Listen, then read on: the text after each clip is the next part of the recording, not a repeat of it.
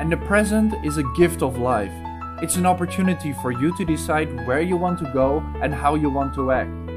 Choose to be better right now. And not just for you, but for everyone around you.